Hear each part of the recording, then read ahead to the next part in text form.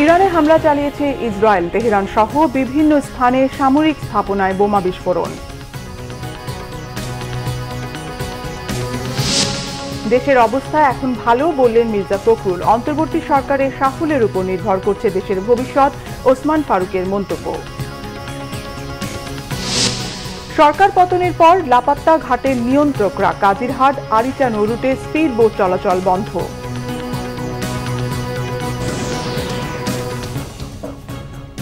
দেখছিলেন crown cement সংবাদ শিরোনাম এবারে বিস্তারিত।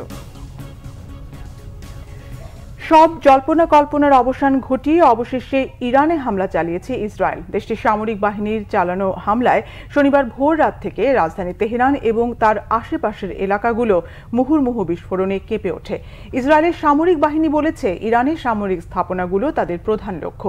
তেহরানের পারমাণবিক স্থাপনা এবং তেল খনিগুলোকে লক্ষ্যবস্তু করা হবে না।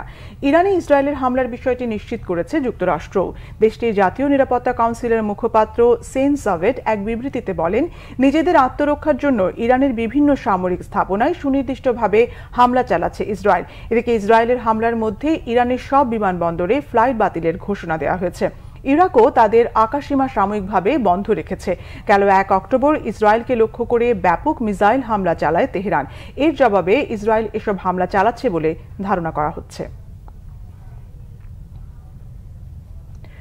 দেশের অবস্থা এখন ভালো, মনে করেন বিএনপির মহাসচিব মির্জা ফখরুল ইসলাম আলমগীর। দেশে ফিরে বিমানবন্দরে সাংবাদিকদেরকে এসব কথা বলেন তিনি। শুক্রবার রাত দশটা বিশ মিনিটে সিঙ্গাপুর এয়ারলাইন্সের একটি ফ্লাইটে হজরত শাহজালাল আন্তর্জাতিক বিমানবন্দরে অবতরণ করেন। এ সময় তার স্ত্রী সাথে ছিলেন, তিনি সুস্থ আছেন জানিয়ে দেশবাসীর কাছে দোয়া প্রার্থনা করেন মির্জা ফখরুল ইসলাম আলমগীর। সাংবাদিকদের প্রশ্নের জবাবে তিনি বলেন, দেশ ভালো আছে। এর আগে গত নয় অক্টোবর রাতে মেয়ের সাথে দেখা করতে সিঙ্গাপুর এয়ারলাইন্সের একটি বিমানে অস্ট্রেলিয়ার উদ্দেশ্যে রওনা হন দশ অক্টোবর বাংলাদেশ সময় দুপুর দুইটায় অস্ট্রেলিয়ায় পৌঁছান মির্জা ফখরুল। সেখানে তাকে স্বাগত জানান বিএনপির আন্তর্জাতিক বিষয়ক সম্পাদক রাশিদুল হক। এদিকে অন্তর্বর্তী সরকারের সাফল্যের উপর জাতির সাফল্য দেখছেন দীর্ঘ আট বছর পর দেশে ফেরা বিএনপির ভাইস চেয়ারম্যান, সাবেক শিক্ষামন্ত্রী ডক্টর ওসমান ফারুক। যুক্তরাষ্ট্র থেকে দেশে ফিরেই শুক্রবার সাংবাদিকদের কথা বলেন তিনি। রাজধানীর একটি হোটেলে আয়োজিত মতবিনিময়ে ওসমান ফারুক অভিযোগ করেন, পতিত স্বৈরাচারী সরকার যুদ্ধাপরাধের অভিযোগ এনে তাকে নানাভাবে হয়রানি করেছে। যুদ্ধাপরাধের সাথে জড়িত কেউ প্রমাণ করতে পারবে না বলে দাবি করেন তিনি। দলের নেতৃত্ব শূন্য করতেই তার বিরুদ্ধে এমন অভিযোগ আনা হয়েছিল বলে মনে করেন ডক্টর ওসমান ফারুক। বিদেশে থাকাকালে রাজনীতি থেকে কিছুটা দূরে ছিলেন জানিয়ে তিনি বলেন, জিয়া পরিবারের উপর বিশ্বাস রেখে বিএনপির রাজনীতিতে সম্পৃক্ত থাকবেন তিনি। দেশে শিগগিরই সুষ্ঠু স্বাভাবিক পরিবেশ ফিরে আসবে বলেও মনে করেন এই বিএনপি নেতা। যুদ্ধাপরাধের মামলা হওয়ায় দুই হাজার ষোলো সালের মে মাসে দেশ ছাড়েন ডক্টর ওসমান ফারুক। দুই মাসেরও বেশি সময় ধরে স্পিড বোট চলাচল বন্ধ পাবনার কাজিরহাট, আরিচা, নৌরুটে। সরকার পতনের পর থেকে এর নিয়ন্ত্রকরা পলাতক থাকায় এই অচলাবস্থা, চরম ভোগান্তিতে যাত্রীরা। বিকল্প পথে চলাচলে যাত্রীদের সময় লাগছে অনেকটাই বেশি। পাবনা প্রতিনিধি আখিনুর ইসলাম রেমনের তথ্য ছবিতে ডেস্ক রিপোর্ট। অযত্নে নদীর পাড়ে পড়ে আছে শত শত স্পিড বোট। পাবনার কাজিরহাট, আরিচা, নরুটে চলাচল করত এসব বোট। পাবনা থেকে সড়ক পথে রাজধানীতে যেতে সময় লাগে ছয় থেকে সাত ঘণ্টা, অথচ নদীপথে স্পিডবোটে সময় লাগে প্রায় চার ঘণ্টা। দ্রুত যাতায়াতে বেশিরভাগ মানুষই ব্যবহার করতেন এ দ্রুত যান। এগুলোর বেশিরভাগই ছিল আওয়ামী লীগ নেতাদের নিয়ন্ত্রণে। কিন্তু পাঁচ আগস্ট স্বৈরাচার সরকারের পতনের পর থেকে স্পিডবোটগুলোর অবস্থা বেহাল। ভোগান্তিতে যাত্রীরা স্পিড বোটটা চালু হলে খুব ভালো হতো আমাদের জন্য খুব সহজ অল্প সময় যাওয়া যেত। এখন বোট না থাকার কারণে অনেক সময় নষ্ট হচ্ছে আর কি। সরকার পদের পর থেকে আজ পর্যন্ত স্পিড বোট বন্ধ আছে। একজন উপজেলা চেয়ারম্যান চেয়ারম্যান তারা এক একজন বিশ পঁচিশ তিরিশটি করে স্পিড বোট তাদের। এই সেক্টরটি তারা দখল করে রেখেছিল। পাঁচ তারিখের পরে কেউ স্পিডবোট বন্ধ করেনি। তারা স্পিডবোটগুলো ফেলে রেখে কিংবা নিজেদের কোনো আয়ত্তে রেখে তারা পালিয়ে গেছে। কাজিরহাট আরিচা নৌরোটে ফের স্পিডবোট চালুর দাবি স্থানীয়দের। অনেক যাত্রী দুর্ভোগ হচ্ছে আগে পাঁচশো যাত্রী গেলে এখন দেড়শো যাত্রী যায় এরকম কমে গেছে। আমাদের দোকানদারের ব্যবসা বাণিজ্য কমে গেছে। পিচবোর্ডের যাত্রীগুলো আমাদের সিএনজিতে অধিকাংশ যাত্রী যাতায়াত করত। তাই বা যাত্রী না আসার কারণে আমাদের ব্যবসায়িক অনেক ক্ষতি হচ্ছে। নতুনভাবে রুট পারমিট দিয়ে দ্রুত স্পিডবোট চালু করার আশ্বাস দিয়েছে বিআইডব্লিউটিএ। বিগত সরকারের সময় যেসব স্পিডবোটের মালিকদেরকে রুট পারমিট দেওয়া হয়েছিল। তাদের রুট পারমিট বাতিল করে আমরা নতুন করে রুট পারমিট আহ্বান করব। যারা আগ্রহী আছেন এই রুটে স্পিডবোট পরিচালনা করার জন্য তাদেরকে আমরা নতুন ভাবে রুট পারমিট দিয়ে আমরা আশা করছি আগামী পনেরো দিনের মধ্যে এই সেবাটি আমি, আমরা সম্পূর্ণরূপে এটা চালু করব। দুর্ভোগ লাঘবে এ নৌপথে স্পিডবোট চালুর জোর দাবি সাধারণ মানুষের। Bangla vision, news desk. Bangladesh football federation নির্বাচন আজ। যোগ্য প্রার্থীকে নির্বাচিত করতে চান ভোটাররা। সকালে রাজধানীর একটি হোটেলে বাফুফের বার্ষিক সাধারণ সভার পর দুপুর দুইটা থেকে শুরু হবে নির্বাচন।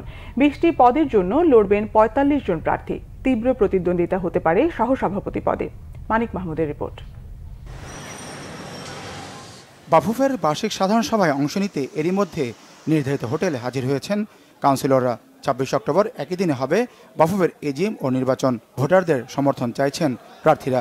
বাফুফের নির্বাহী কমিটির একুশটি পদের মধ্যে সিনিয়র সহসভাপতি প্রার্থী ইমরুল হাসানের কোনো প্রতিদ্বন্দ্বী নেই। বিশটি পদে ভোট দেবেন ভোটাররা। সভাপতি পদে প্রতিপক্ষ মিজানুর রহমান থাকলেও একরকম নিশ্চিত তাবিদ আওয়ালের জয়। চার সহসভাপতি পদের প্রার্থী ছয়জন লড়ে চার সংগঠক সাব্বির আহমেদ আরেফ, ফাহাদ করিম, জাহেদি, ওয়াহিদুদ্দিন চৌধুরীর সাথে আছেন দুই সাবেক তারকা ফুটবলার রুমন বিন ওয়ালি সাব্বির ও শফিকুল ইসলাম মানিক এই পদেই নির্বাচনের মূল আকর্ষণ। কাজী সালাউদ্দিন যোগ শেষে পরিবর্তনের আশ্বাস প্রার্থীদের। ভোটাররা যাকে ভোট দেবে দুজনকে তো আউট হতেই হবে চারজন যাবে। তবে ওই দুজন আউট হবে না ওই দুজন আমাদের সাথেই থাকবে। তাদেরকে নিয়ে আমরা আগাবো। ফেলে দেবো না কাউকে। যেই আমিও পড়ে যেতে পারি আমাকেও জানি কেউ ফেলে না দেয়। যেহেতু স্পোর্টসের কোনো মঙ্গল করার চেষ্টার জন্য এসছি সেই সুযোগটা জানি পাই। It is up to the voters যে তারা কাদের অভিজ্ঞতা কাদের অর্জনটা মনে করে এই মুহূর্তে বাফের প্রয়োজন সেখানেই সেই বিষয়টি এখানে প্রাধান্য পাবে। এবং সেই প্রাধান্যর ভিত্তিতে আমি মনে করি ভোটাররা সঠিক সিদ্ধান্ত নেবে। যে আমরা যারাই যদি আসি তাহলে ইনশাআল্লাহ সবাই মিলে যে চেষ্টা করি একশো কোটি টাকা আনা সম্ভব গভর্নমেন্ট থেকে। এবং ফুটবলে কোনো ক্রাইসিস থাকবে না। আমি এটা বিশ্বাস করি। পনেরোটি সদস্য পদের প্রার্থী সাঁত্রিশ জন এদের মধ্যে আছেন অনেক সাবেক ফুটবলার। চুয়াডাঙ্গা জেলা ফুটবল অ্যাসোসিয়েশনের সভাপতি এখলাসউদ্দিন ফোর্টিস ক্লাবের সভাপতি শাহিন হাসান সহ আছেন বেশ কিছু নতুন মুখ। প্রান্তিক ফুটবলের দুর্দশা তুলে ধরতে আসতে চান পরিচালনা পর্ষদে। ডিএপি প্রতিষ্ঠিত হওয়ার পর থেকে সরকারের থেকে আমাদের কোনো সহযোগিতা নেই এবং বাফুফ থেকেও আমরা কোনো ফাইন্যান্স হেল্প পাই না। তো ওটা আমাদের জন্য খুবই কষ্টসাধ্য হয়, যেটা আমাদের সংগ্রাম করতে হয়। তো সেটা আমাদের ভয়েসটা পৌঁছায় না। ঢাকাতে বা সেন্টারে আমাদের ভয়েসটা পৌঁছায় না। আমরা যতই ওখান থেকে বলি হয় না। আমাদের নিজ উদ্যোগে করতে হয়। আমরা জেলা থেকে উঠে আসছি যে আমাদের ভয়েসটা যেন কেন্দ্রে ন্যাশনাল লেভেলে আমরা তুলে ধরতে পারি। কিছু তো ব্যর্থতা আছেই। সেই ব্যর্থতা ঢাকার জন্য একটা টিম দরকার হয়। ফুটবল একার খেলা না। ফুটবল দলগত খেলা। সেই দলগত হয়ে আমি থাক- কাজ করতে চাই। করি। এবারে যদি সুন্দরভাবে নির্বাচন হয় অনেক প্লেয়াররা আসবে কমিটিতে। এবং প্লেয়াররা কিন্তু আসলে ফুটবলের জন্য যেহেতু ওরা টেকনিক্যাল লোক ছিল আগে ফুটবলে ভালো হবে ওরা আসলে। নির্বাচনে মোট ছেচল্লিশ জন প্রার্থীর মধ্যে নারী প্রার্থী তিনজন ভোটার একশো তেত্রিশ জন। মানিক মাহমুদ বাংলা ভিশন ঢাকা। এ ছিল এখনকার মতো, পরের সংবাদ সকাল এগারোটায়। এছাড়া বাংলাদেশের সংবাদ ও সংবাদ সংশ্লিষ্ট অনুষ্ঠান দেখতে ভিজিট করুন W dot BV news twenty four dot com ও Facebook dot com slash Bangla vision নিউজে এবং সাবস্ক্রাইব করুন YouTube dot com slash Bangla vision news ধন্যবাদ।